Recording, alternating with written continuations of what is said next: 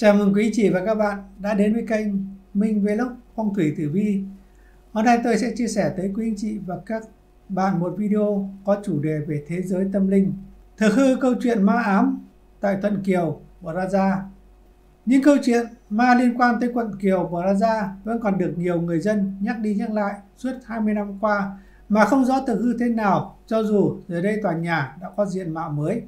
Ba tòa cao ốc của Thuận Kiều Plaza nổi bật giữa khu đất vàng của quận 5, thành phố Hồ Chí Minh với số vốn đầu tư là trên 60 triệu USD được đưa vào sử dụng từ năm 1999, cũng là dự án tòa nhà cao tầng đầu tiên tại khu vực này được đầu tư.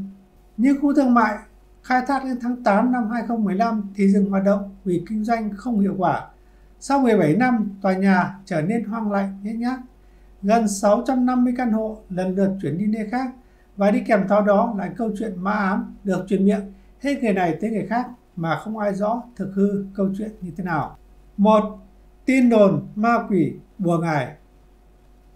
Gần hai chục năm qua, những lời đồn thổi đầy ma mị về Thuận Kiều Bồ Lao Gia cứ chồng chất theo thời gian. Họ cho rằng khu vực này có nhiều oan hồn, những tiếng kêu, tiếng nước chảy khiến ai cũng phải hoang mang, sợ hãi. Theo lời một bảo vệ ở đây thì hiện nay hai tòa tháp A và B đều không có người ở. Tháp C còn hơn chục căn hộ có khách cụ cư. Sự hoang mang ở đây lại càng tăng thêm gia vị cho câu chuyện nhuốm màu ma mị được đồn thổi, thu hút khá nhiều nhóm thanh thiếu niên đến tìm hiểu và mong được diện kiến ma. Được biết trong thời điểm khởi công xây dựng công trình, có ba người gồm thợ điện và thợ hồ đã chết vì bất cẩn khi làm việc. Từ đây dấy lên tin đồn vì không được đền bù thỏa đáng, mâu thuẫn nội bộ giữa chủ đầu tư và một nhà thầu phát sinh. Nhà thầu này vì căm tức đã rước một thầy Pháp từ Hồng Kông sang dùng phép thuật thả quỷ ở bên trong để gây rối. Nhưng cũng có tin đồn rằng là căn nhà chúng buộc ngải của những người thợ ở đây và vị trí họ chôn bùa ở đâu thì không ai biết. Một câu chuyện được nhiều người kể lại nhất đó là năm 2010, một lập trình viên thuộc công ty có chủ là Hàn Quốc thường xuyên ở lại làm việc muộn. Anh nghe thấy tiếng nước chảy trong phòng tắm, nhưng sau lần tự mình kiểm chứng, anh hỏi lại mấy anh chị làm chung thì họ cũng khẳng định thỉnh thoảng có nghe tiếng nước chảy trong bếp hoặc nhà tắm nếu ở lại sau 20 giờ đêm. Trước đây có một đôi vợ chồng Việt Kiều cũng thuê nhà ở tầng 30, nhưng không lâu sau họ im lặng chuyển đi, không nói lý do. Họ còn nói là đừng có ai thuê ở mấy căn tầng 30. Hỏi vì sao thì họ lại im, không trả lời. Có người từng thuê tầng 1 của ngôi nhà này để kinh doanh, tối ngủ lại luôn để trông hàng. Nhưng ở lại được vài tuần, cậu ta không dám ở lại buổi tối. Cậu này sợ hãi bỏ đi vì cứ đêm đêm lại có ai đó gọi tên đè xuống giường. Rồi đêm nào ngủ ở đây, cậu ta cũng mơ giấc mơ đầy hãi hùng. Người dân đây cho biết thi thoảng họ vẫn nghe thấy tiếng động lạ sột soạt như chân người đi lên xuống cầu thang. Một chị buôn bán trong tòa nhà cho hay mấy ngày liền cứ thấy một phụ nữ mặc sườn xám đi ngang Hôm đó không biết sao, cô gái ngón tay, nghĩ có người nhờ giúp đỡ, cô đi tới gần, nhưng hoảng sợ vì người phụ nữ chân không chạm đất. Người ta kể lại rằng khi xây tòa nhà, chủ đầu tư đã mời pháp sư cao tay yểm bùa. Ông này dụ đuổi ma quỷ đi chỗ khác không được, nên đã thu ma quỷ trong cả khu nhà nhốt vào thang máy. Các nhân viên bảo vệ tòa nhà thường phải chia nhau đi kiểm tra từng tháp. Một lần có cậu bảo vệ khỏe trẻ trước đêm, chờ thấy một bóng người vụt qua, lao vào thang máy, Tưởng là trộm, anh này lao theo, dí tay vào bảng điều khiển. Cánh cửa thang máy mở ra, người ngày ngất luôn vì sợ. Thiết bị báo động rung lên, mấy người tới hỗ trợ, thấy đồng nghiệp nằm bất tỉnh, tím tái. Khi tỉnh dậy, anh này kể thấy một người đàn ông, máu đầy người, đang cười nhăn nhở. Có tài xế taxi kể lại rằng từng là nạn nhân. Đúng vào dịp Tết Trung Thu, nhận điện thoại của một vị khách nữ gọi đến đón ở Thuận Kiều Plaza. Lúc này đã gần 12 giờ đêm, khi gọi lại số điện thoại kia thì chỉ nghe thấy tiếng khò khè. Sáng hôm sau, anh này đục lại điện thoại trong máy, với định gọi lại lần nữa, nhưng không còn thấy số điện thoại trong máy nữa. Mặc cho câu chuyện ma mị xung quanh, nhưng đây vẫn có một số hộ gia đình đến ở.